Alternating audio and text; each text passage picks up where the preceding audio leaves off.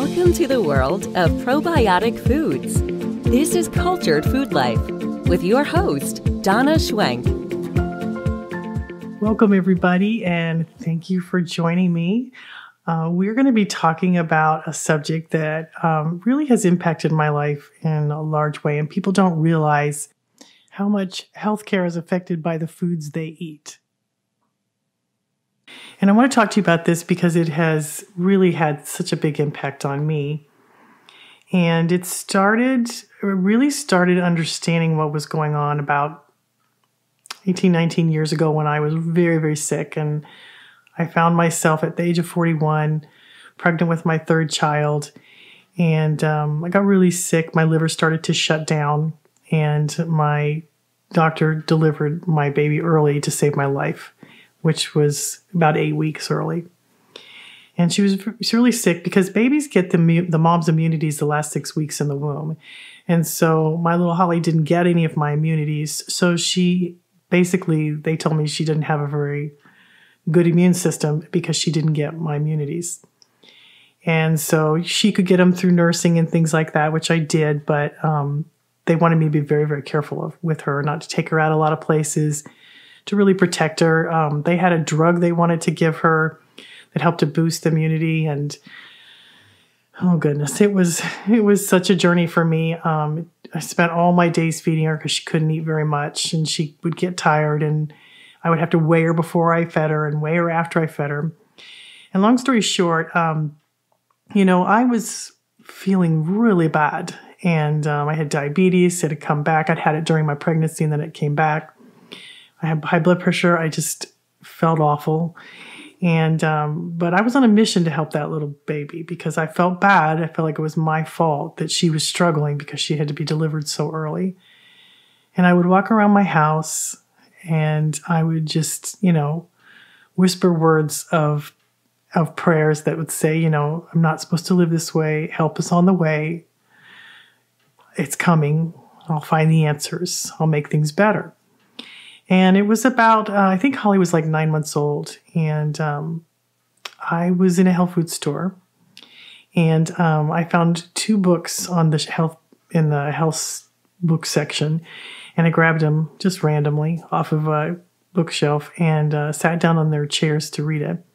And one um, was the two books were Body Ecology by Donna Gates, and the other was uh, Nourishing Tradition by Sally Fallon. And when I opened the book, it opened, um, one of the books opened to this page on kefir. I'd never heard of it. I didn't know what it was. Uh, I thought it was interesting. I read a little bit about it. And then I opened the other book, kind of plopped it on top of the other book, and it randomly opened to a page.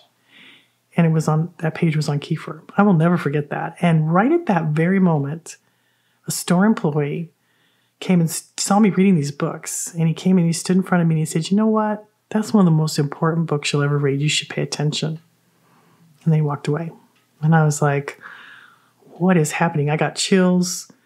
Um, I went and found this drink called kefir. I asked somebody what it was, and they showed it to me. I bought some, and I took the books home. I bought them and, and started reading about it, and decided I was going to try it. Um, so I started giving it to Holly, like a little spoonful every time she ate, and and then I started drinking it. And it was about three weeks later, and my husband walked into the living room holding Holly in his arms and said, "Donna, Holly has gained four pounds, and she's got this color in her cheeks. It was this rosy color, and she wasn't spitting up anymore. She was sleeping through the night." And four pounds is a lot for a preemie to gain. And um, she just transformed. She looked completely different. And it wasn't too long after that, I had been making a, a peach kefir smoothie every morning. I used one cup of kefir, and I had a peach tree in my yard. So I would go pick peaches and I would put them in a blender with my kefir and I would swirl it up.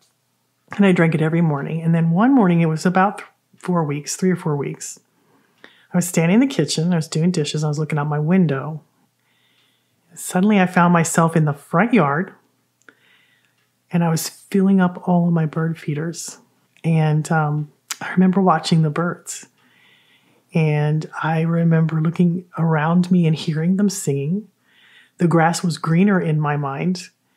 And it literally looked like somebody had turned the color up on my world. And I felt like my world had shifted. And I had this sense of well being that I believe I have never known. I felt so good, but it was this joy I felt, this joy for existence, this, you know, excitement. I mean, weeks before, I didn't give a rip about those birds. They could get their own food. Um, but suddenly I just, my heart opened up. I felt so good. I just, I, I can't even tell you what it was, but it was, it was this incredible sense of joy and well being. And I didn't know what had happened to me. And I didn't know what had happened to my little girl, Holly. So I started researching. I started uh, trying to find things about it. There wasn't a lot of information on it back then. And there certainly wasn't, there was a very little amounts of research. But I started to uh, start to really research the bacteria, and there was like 50 plus bacteria in kefir and good yeast. And I started to learn about them because I wanted to know what happened to me. And I was up a lot at night feeding Holly because she ate round the clock because I was trying to put weight on her and trying to help her grow. And so I was up a lot at night. So when I would feed her, I would read and I would research with one hand holding her and then research with the other. And that first year, everything changed for me. I knew that this food, whatever it was, had changed us so dramatically um, that I could never go back. It was so pronounced. And um, I started giving it to the, my other members in my family, and I started just to tell just a few friends. I didn't tell a lot, and I watched their kids get better.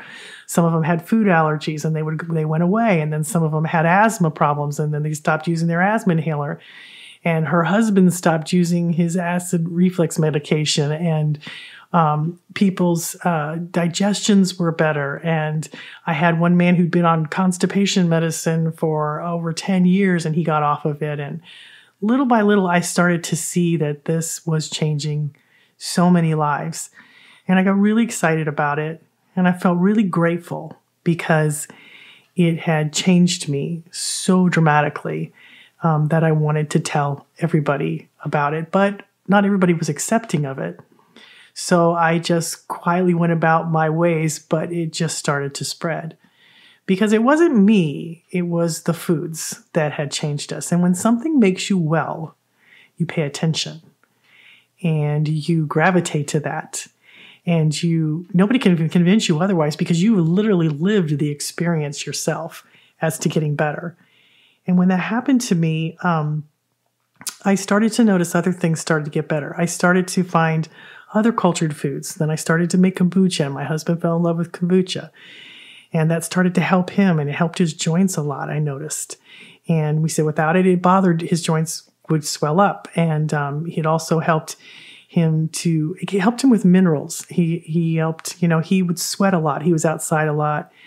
Um, he had a, a roofing um, business and he would be outside with his guys and he would get in the sun and he would lose his minerals. And when he had kefir and, and these cultured foods and kombucha, it would help him retain them and he wouldn't, he would recover faster and he would also not lose them as quickly. And um, my daughter, Macy, who was 16 at the time, she had IBS and that she had developed that rather quickly. And uh, these foods helped heal her gut from food allergies, from IBS, and I started to see one by one everybody started to get better. And what was exciting to me was the transformation that it had in me as far as every area of my life. When you don't feel good, you don't want to do things. Um, you know, in the very beginning, everybody was bugging me to write books and to teach classes. Well, I didn't want to, but then I felt so good that I started to do it, even though I didn't know what I was doing and I started to feel better. And, um, you know, we stopped going to the doctor because we felt better. We never got sick anymore. And if we did, our bodies would recover so fast that we never needed to go to the doctor. And, um, you know, people were writing me and telling me that they didn't have any sick days they were using. And I get that a lot to this day. And, um, you know, you start to, I noticed that we ate less. Uh, we got so many nutrients from these foods that our grocery bill went down and we started to feel better and we started making better food choices because we felt good and we wanted to enhance what we were already doing. You know, health is a relationship between you and your body.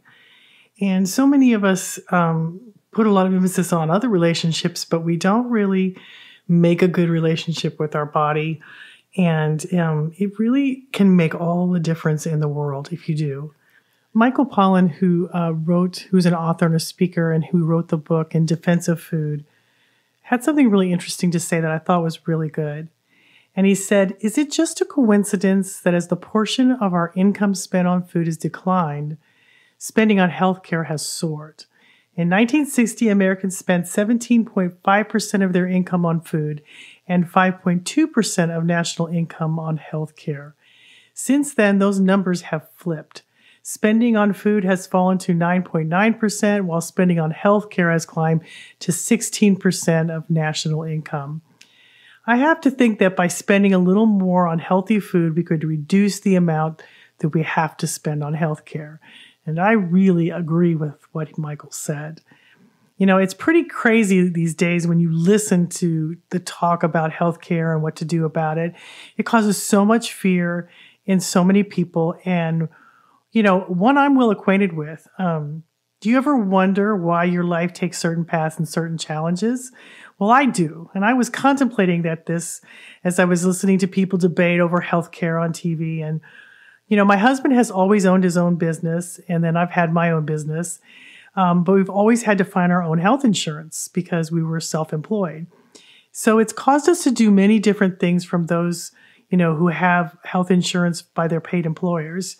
Um, because we always had high deductibles to keep our costs down and staying healthy was of the utmost importance because, you know, if we went to the doctor, um, you know, it was it was quite a bit of money for us because sometimes we had copays, but sometimes we didn't, and then it was it was always you know having to get new health insurance every few years because they would start out with low costs and then they would accelerate. And we didn't even go to the doctor. So it wasn't because we were using it. It's just because of how i don't know if it was because we were getting older. I don't know. But um, you know, we just don't go. I mean, I we just don't go unless it's absolutely necessary, and uh, very seldom do we ever go to the doctor. And uh, actually, my my oldest daughter, she never has gone because she was ill, and uh, she's 18 now. And you know, it, it was a challenge for us, but it made us strong, and it taught us many things that I would never have learned any other way. It, you know, if we would get sick, I would try to understand what was causing it. I would look for the solution. Um, I learned to use food as medicine. And although times as challenging as it was, I really found an understanding of my body that led us to where I am today. And uh, I only, you know, I'm not against doctors. I think they're great. My brother in law is a doctor. I love him. I think he's wise. But I also think that sometimes we don't listen to our own wisdom and um, you know never understanding the wisdom and guidance of our own bodies and that has been such a journey for me because when your when our body produces symptoms it's a warning sign and you know don't get me wrong i think health health insurance is important but so many people are ignoring these magnificent bodies that we live in and they are one of the best healing machines around your body is a virtual pharmaceutical factory all on its own and I have seen that again and again within my family and with myself. You know, we have lost touch with this. And so sometimes we medicate ourselves to cover up the symptoms that are meant to help and show us another way. And I have seen that in myself. Like when I have a certain thing that happens that is stressful, I can feel my body start to create hormones and chemical uh, things in my body that create disease. I can feel it happening inside of me. I've gotten so sensitive to that I know it creates wellness. I know it creates disease. And your body are, is constantly doing that all day long. Uh, we kind of take it for granted, uh, but you're making all kinds of hormones and chemicals that are keeping you well or making you sick, depending on what you're doing with your daily diet, with your stress, with your exercise, with everything in your life. Um, those are things are happening inside of you uh, almost it, and it's almost the same as taking drugs except they're natural healing elements in your body but they're also elements that can create disease so what if each and every one of us started paying attention to the foods we put in our mouth that makes up the cells of our body would your body change and behave better if it had better fuel What if you ate living probiotic foods every day? Foods that have billions of probiotics that help you digest your food, makes vitamins, minerals, heals, and repairs the damage in your gut and makes you feel alive inside, just like it did me. It would make such a difference.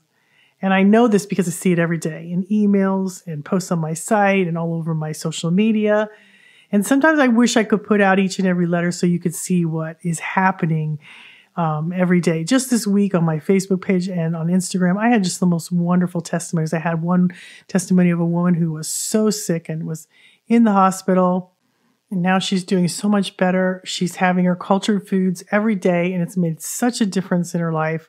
I saw another one on Instagram that said, uh, I discovered amazing Donna and cultured foods over four years ago. I had two kids, I was overweight, had an anxiety driven life that ate my guts from the inside out. I hurt, I was in pain, but I started on kombucha, milk kefir, kraut, and I love them all. And it has helped me lose 100 pounds and so much more. And it is an exciting thing to live, you know, in a place where you get to witness yourself, your body healing itself. That is such a thrill and it empowers you and it really makes you shine to other people and they want to know what you're doing. So you not only make yourself better, you know, but you make everyone around you better because you become a lighthouse to everybody. And, you know, it's so much fun to see it happen, not with drugs, but with food. I'm just one person, but I am yelling as loud as I can and hoping that I can make a difference with my own life. And I'm so thankful for the struggles. I'm so thankful for the sickness and disease that is now gone, that helped me to find the answers that just resided within me. I could heal and my body would help me, and I was the captain of my own ship and the master of my destiny and I had to work together with my body and help it steer its right course. And with that fuel, I fed it and it got better and better and better. Here's another um, wonderful testimonial, and I have a bunch of these on my Lives Touch page at culturedfoodlife.com. If you want to go read all these testimonies, I've got so many people that submit them. It's wonderful because it's thrilling to me. It keeps me going and keeps me inspired. But this one was from Penny, and she said, I wrote to you a couple months ago. I was desperate for help. My kidney doctor had just told me that my kidneys were functioning at 20%. I needed to choose which form of dialysis I would prefer, and it was just a death sentence to me. I had had several health problems through the years, and this was heading for a crash really soon. I'd asked you if you'd ever heard of anyone who had tried this cultured food and drink way of life with any results repairing kidney functions, and you told me not that you had heard of, but you gave me encouragement to try it anyway. So, in my grief and despair, I decided to do just that. Don, I went back to the kidney care doctor just recently, and he just kept shaking his head and said he didn't understand how or why this way worked, but that not only had I lost weight in the last two months that I saw him, but my kidney function went up 10%. Yay, God. He said he had never heard of this happening before, ever. And the nurse came back in after the visit and said in all the years she'd worked for him, she'd never seen him speechless like that. All this, Donna, after only doing approximately one and a half months of kefir. Many blessings, Penny.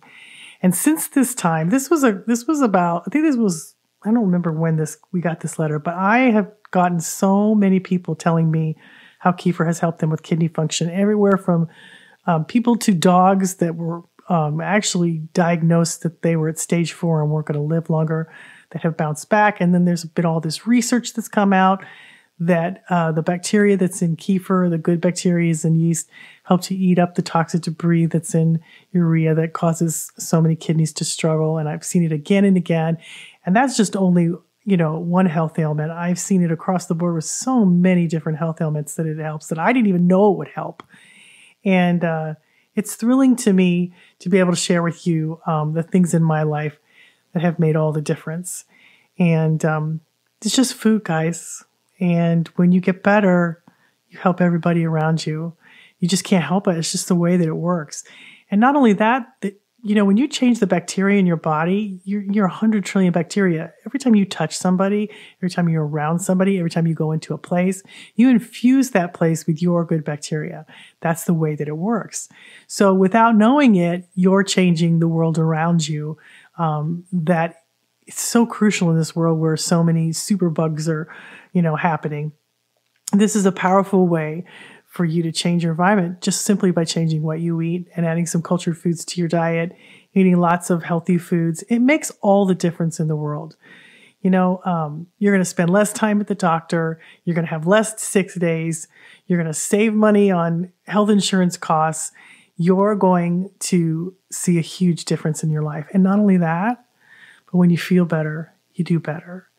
And I never, ever thought I would be doing what I am now. I didn't want to do what I, was now because I didn't feel good. I was all scared and sick and afraid and and once you get healthy and your body helps you, you feel invincible. You feel as though you can do so many things that you never dreamed of. And it's, you know, simply changing what you eat and what you put in your mouth um, that makes the cells of your body. So I hope this encourages you. I hope it helps you. Um, food is powerful medicine, guys, and it has made all the difference for me. I love these foods. They are the answer to my prayers and to my cries for help. And little did I know that not only they would change my body and my health, but they would change my whole life and give me um, a dream job that I never even saw coming. I never in a million years thought I'd do this. Didn't even know I wanted to do it.